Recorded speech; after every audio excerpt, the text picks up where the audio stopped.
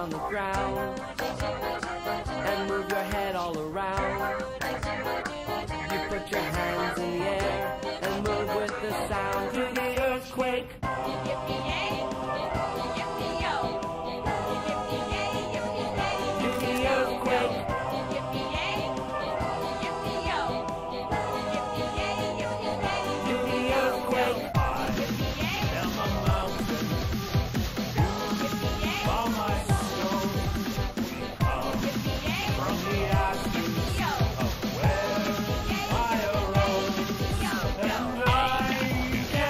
And you can be strong.